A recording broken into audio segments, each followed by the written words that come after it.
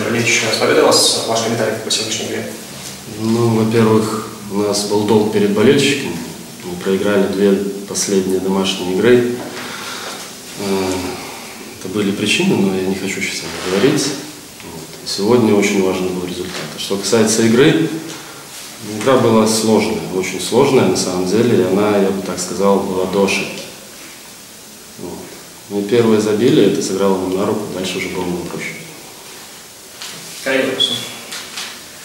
Ну вот в, первых, в первом тайме, э, где-то до ну, половины тайма, скажем, все-таки на поле было сумбурно, много игр. Да. Это жел- от желания или э, от, недостатка мастерства, или как объяснить?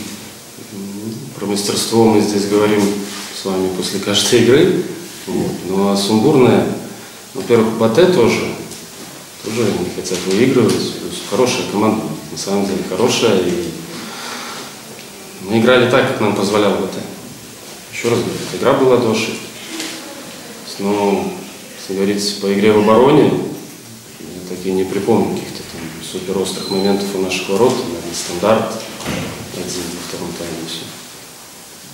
Но по первому вот, э, практически один удар, и он привел к, к голу. Ну, давайте, пускай будет лучше так, чем мы будем бить по 20 раз и не проигрывать. Наверное, сегодня это было важнее. Спасибо.